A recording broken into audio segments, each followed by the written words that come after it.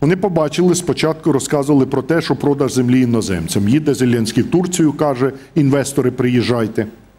Потім на ЄС на форумі каже, інвестори приїжджайте. Потім у Польщі каже, іноземні інвестори приїжджайте. А збирає наших аграріїв, каже, ні, ні, іноземцям ми землю продавати не будемо. Хоча це теж обман. Тому що ніхто не може заборонити, наприклад, мені як іноземцю купити корпоративні е, права у вашій фірмі. яка Зареєстровані в Україні. Безумовно. І, і все, ваша фірма має мільйон гектарів е, землі. Я купую вашу фірму і разом із цією землею. Оставьте мне мою фирму, пожалуйста, Олег Валерьевич. Мне у она вас, еще на жаль- прыгать с миллионами гектаров земли. На жаль, у вас немає і не буде фірми з да. мільйонами гектарів землі. Уви, уви. Так що не тіште себе надією. Ну. І коли уряд обіцяє нашим фермерам, що ми 4 мільярди гривень у бюджеті наступного року передбачимо вам на здешевлення вартості кредитів, щоб ви могли купити земельну ділянку, кого ви дурите? Поділіть, е, Да. скільки у нас фермерів на суму, яку вони передбачили. А крім того, скільки фермерам треба взятку дати, щоб отримати ту компенсацію вартості кредиту. От саме тому ми пропонуємо. Я надіюсь, ми далі дійдемо до цієї теми більш глибоко, і я розкрию нашу позицію по землі. А зараз тезово. Тобто, оця ключова, це МВФ вимагає продаж землі іноземцям. А наша влада думає, як і своїх е, обдурити, і від іноземців взяти А кредит. правда, Олег Валерьевич, это очень важно, очень ну, распространенная точка зрения, что ну, правительство буквально в капкане, да, нас зажали э, переговорщиков с нашей стороны, да, в тисках, и мы тут не можем выкрутиться. Уж серьезно очень мы зависим от Международного валютного фонда и от кредитов, а это требование, ну, первое, у представителей наших кредиторов. Вот рынок земли обязательно должен быть и очень быстро, вот в в течение года. Да, це абсолютно правда. Тому що в результаті тієї політики, яку Україна проводить останні 28 років незалежності, це політика сировинної структури економіки і залежність від кредитів. Ми сьогодні, як наркомани, які без голки не можуть прожити, їм дозу треба. І вони за цю дозу готові винести останні з хати і матір рідну вбити, щоб продати те майно. От так само сьогодні і нинішня е, новий уряд продовжує політику попереднього уряду. Розказують, без кредитів МВФ жити не можемо. А у них головна вимога це продаж землі. Чому? Тому що земля це ключовий ресурс, який є власності української нації. Людей в світі стає більше, а землі стає менше. А якщо взяти ерозію земель, різні природні катаклізми, зростання чисельності населення землі, Організація Об'єднаних Націй прогнозує до кінця століття 10 мільярдів людей на землі. Всі ці люди хочуть їсти. І тому сьогодні навколо України йде боротьба, ключова боротьба. Це не тільки відновлення е, контролю над Донбасом, над Кримом, це ще боротьба і за землю. І сьогодні, користуючись тим, що ми бідні, залежні і живемо за ці кредити, у нас хочуть забрати ресурс, який годуватиме нашу націю на тисячі років вперед. От чому я проти продажу землі. І влада сьогодні нам розказує, що ми ніяк не можемо обійтися без продажу землі, замість того, щоб міняти політику господарювання на селі. У нас сьогодні сільськогосподарське виробництво це друга стаття за надходженням валюти. Ми займаємо перші місця в світі по експорту сировини. Але чому селяни багатші не живуть? Чому вони краще не живуть? Відповідь на це питання одна: тому що ми продаємо десятки мільйонів тонн зерна замість того, щоб змінити державну політику, заборонити вивозити зерно, відновити агропереробку в селі, відновити тваринництво, щоб селяни отримали 10 мінімум процентів на е, орендовану землю. Чому фермер, який орендує землю, 5 разів на рік машини купує? А бабуся, дідусь, який здає в оренду свою участок, нічого не мають, крім два мішка гнилої полови. Де держава? Чому вона не заставить, щоб Ну, власник Кстати, паїв... этим и объясняют, Олег Валерьевич, необходимостью открыть рынок земли. Говорят, тут как раз паевщики, люди, которые сдают свои паи в аренду, ничего не зарабатывают. Так у них получится, со- будет создана возможность продать свою землю при желании и получить реальный доход, какую-то серьезную, существенную цифру. Но во всяком случае, среди прочих аргументов и такое звучит. Е, Якщо буде продаж земель, тоді пайовиків вже не буде. Тому що коли людина продає пай, його вже немає. Це раз. Друге. Коли людина отримує один раз гроші за цей пай, гроші це вода. Вона потратить ті гроші, які отримала за пай за півроку, за рік. У мене питання: а що вона через рік буде продавати? За рахунок чого вона буде годувати свою сім'ю, себе і своїх дітей? Де паю немає, роботи немає. Гроші, які отримали за пай, потратили. Що платить буде за комуналку і за ліки? Говорят, еще Тому- стоимость аренды может вырасти. То есть, если сейчас сдают в аренду по одной, там, условно, за 100 гривен, и сейчас о- общие цифры, то будут сдавать за тысячу. Я купив у вас пай. Я дав вам гроші за пай. Що я вам должен? Яка оренда? Це моя земля. Ідіть гуляйте. Що від мене хочете? Я вам більше нічого не должен. Я вам заплатив гроші за ваш пай. Більше того, ви цей пай віддали мені за 3 копійки. Тому що останній раз вартість оцінки е, української землі проводилась 20 років тому. І е, орендна плата за паї платиться від оцінки землі. Якщо занижена оцінка варті землі, занижена орендна плата за пай. Тому, коли нам сьогодні розказують про те, що має бути ринок земель, який ринок земель, коли ми не знаємо реальної оцінки землі? Який ринок земель при Та наших... ми про кількість не знаємо точно, Який ринок і- земель, коли ми не знаємо реальну вартість, скільки в нас сільськогосподарських земель? Землі запасу, якими розпоряджаються кадастри і районні Державні. адміністрації. Невитребувані землі від е, людей, які померли, землі Академії аграрних наук, землі е, дослідних підприємств. Далі е, говорять Міністерств окремих. Нас без- за, за кожним безум- міністерством. Безумовно. Який може бути ринок земель при корумпованій судовій системі? Ви вночі спите, ваш пай переписали 20 разів, поки ви спите. І той пай, який належав вам все життя, більше вам не належить. І де ви доведете правду? Де ви візьмете гроші на адвоката, на те, щоб піти до суду, коли вам 80 років, коли ви 10 метрів по вулиці не пройдете? Бабуся чи дідусь? Хто захистить? Корумпований прокурор, корумпований суддя? Те, що пропонують сьогодні з продажем землі, це громадянська війна. От що вони пропонують. І внутрішнє протистояння. Вони не читали. Вони не читали у школі, коли треба було читати класиків. Не чуй Левицького, Карпенка Карого, Кайдашеву сім'ю. Кайдашеву сім'ю я теж згадав, е, да. Чия земля? Калитчина. Чия земля? Калитчина. І подивіться проект закону, який вони внесли. В одні руки можна 200 тисяч гектарів землі. Покажіть мені фермера, який в одні руки 200 тисяч гектарів землі купить. У нього немає грошей, щоб 200 гектарів купити. Тобто цей закон робиться в інтересах олігархів, в інтересах глитаїв і транснаціональних корпорацій. Інтереса селянина, інтереса фермера там немає. От і все. Їм треба взяти нові кредити і в заставу е, за ці кредити віддати землю. Завтра ні кредитів, ні землі не буде. Що пропонуємо ми? Перше.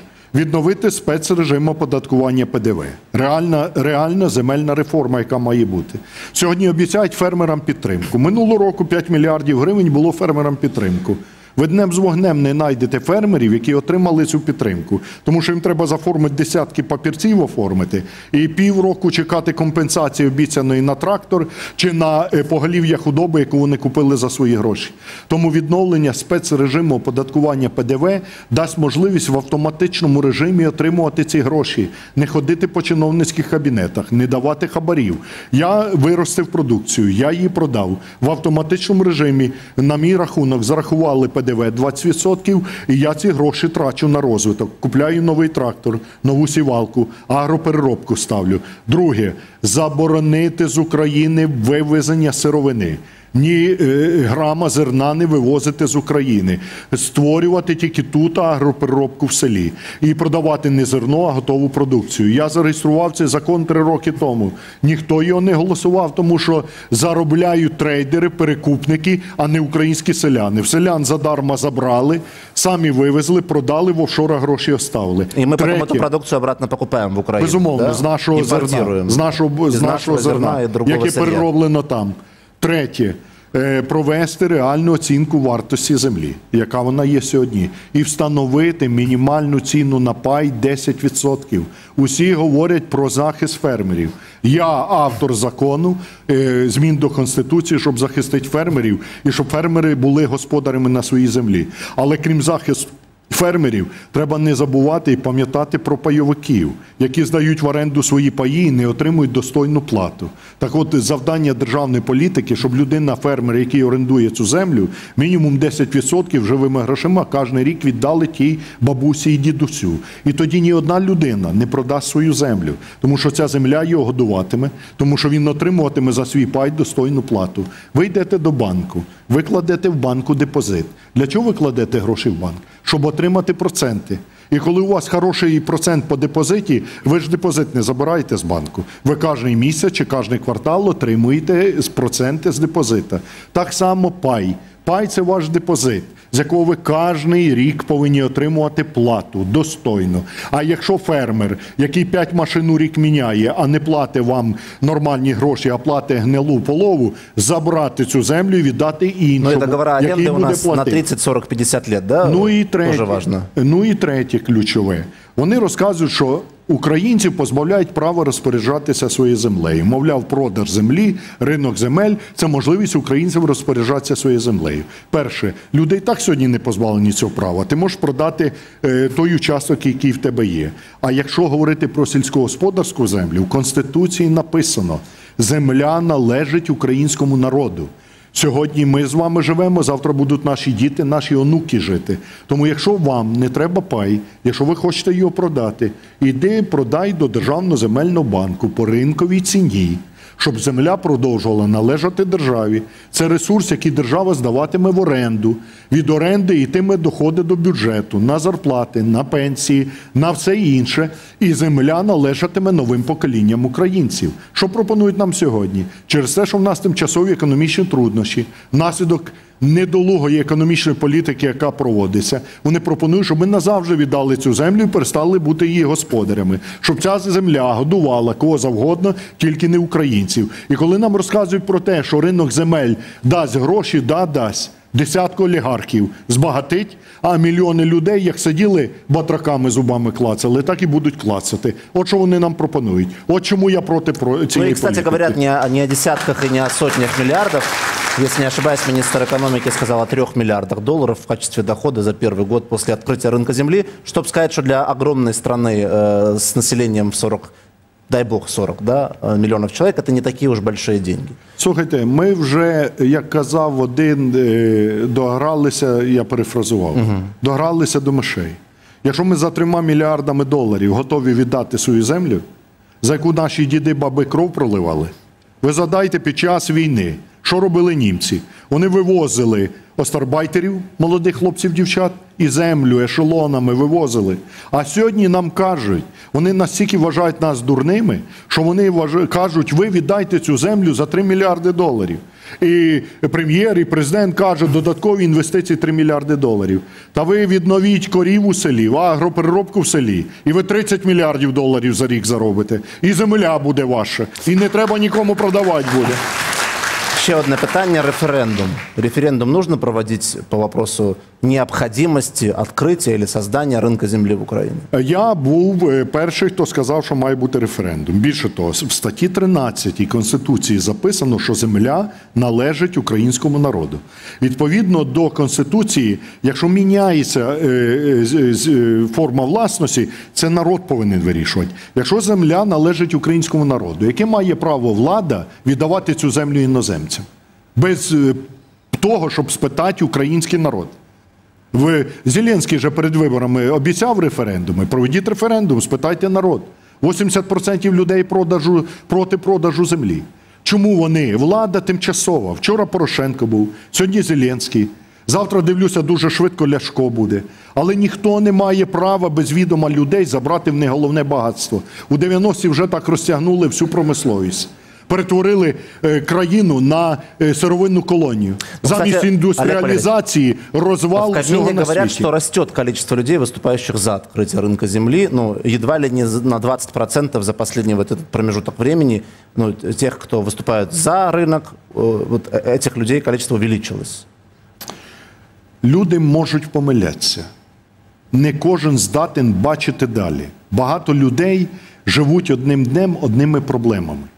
Коли в людини немає заплатити за комуналку, за ліки, е, своїй дитині за навчання у вузі, чи за е, оренду за квартиру, яку вона знімає, людина не думає про завтрашній день. Вона думає про те, як вижити сьогодні, прогодувати свою дитину, прогодувати себе. Завдання державних діячів думати про майбутнє нації, про завтрашній день країни, а не жити одним днем. Відповідальність державних діячів полягає в тому, щоб вести за собою людей, не бігти за ними, а казати їм правду, показувати їм, відкривати горизонти, показувати їм перспективу. Коли увесь світ обговорюють кліматичні проблеми. Коли в Німеччині забороняють уже взагалі е, е, бензинові двигуни. Коли Швеція е, забороняє взагалі вирубувати хоч одне дерево, чим займається українська влада? За кредити землю продають, хочуть скасувати мою заборону на вивіз необробленого лісу з України і живуть одним днем.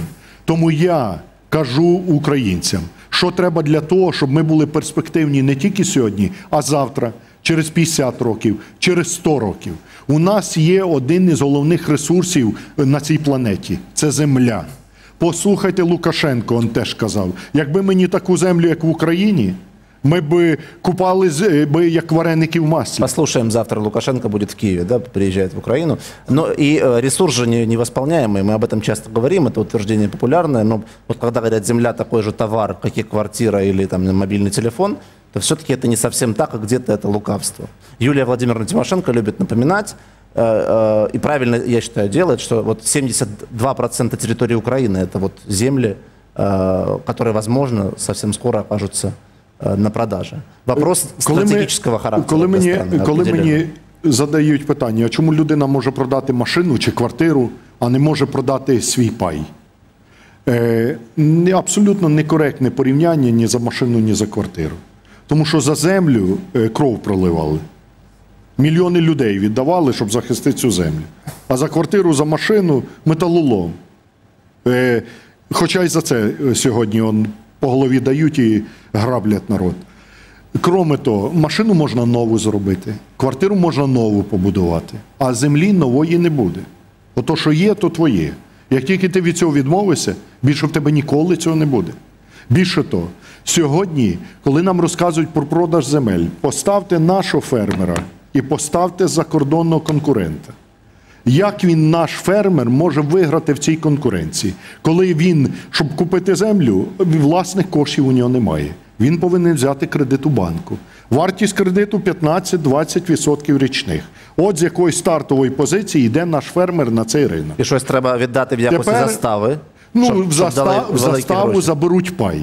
А як? Ну це ж ще ж, е, якщо ти хочеш продати, то це ж не візьмуть якості застави, Олег Валерійович. В застав, Ну, якщо вона, в, за- ну, в заставу візьмуть його землю. А тепер беремо нашого закордонного фермера, е, конкурента. Він йде у свій польський, французький чи американський банк. Йому дають там кредит під пів процента річних, під 1% річних. Наш фермер максимум на рік візьме, а конкурент нашого фермера на 10 років візьме кредит під 1% річних. І от виходять два фермера: один польський, один український. Я кредит під 15, у того кредит під 1%. У мене кредит на один рік, у того кредит на 10%. Мені дали 100 тисяч гривень кредиту, а йому дали мільярд доларів кредиту. І скажіть мені, де конкуренція? Де рівні правила? Як я можу на цьому ринку виграти? Я, кстати, считаю, что правила должны быть тут не, не должны быть равными, как бы это парадоксально не звучало, а приоритетное право и привилегии и льготы должны быть у граждан Украины все-таки в этом вопросе, Олег Валерьевич. Вы При- согласны с этим или нет? Так от пріоритетне право українцям це щоб вони цю землю були господарями на цій землі, щоб вони конкурували із е, іноземними виробниками не продажем землі, а за рахунок якості продукції, нових технологій, нових виробництв. Е, Там ГМО роблять, а в нас якісну продукцію. От за рахунок чого треба конкурувати. А нам кажуть, ви конкуруйте, продайте землю, і потім хай на цій землі заробляють інші. А ви сидіть, дивіться, хтось мільярди заробляє. А потім усі ці 12 мільйонів людей, які живуть у селі, вони через рік, через два, коли в них не буде роботи, коли виріжуть останню корову, коли заберуть пасовище, коли вони потратять гроші, куди вони прийдуть? Вони прийдуть у Київ і скажуть, де наша робота, де наша зарплата і де наша перспектива. От що будуть говорити ці люди. Більше того, влада скаже, ми вам нічого не должні. Ви ж гроші взяли, взяли. Ні, ви ж головою повинні були Пойдут в думати. службу занятости, и налогоплательщики вместе с пенсионерами будут Ніяка- содержать и обеспечивать еще и эту категорию населения. Ніяка служба зайнятості не забезпечить 12 мільйонів людей е, можливістю утримувати їх. Це Не неможливо. 12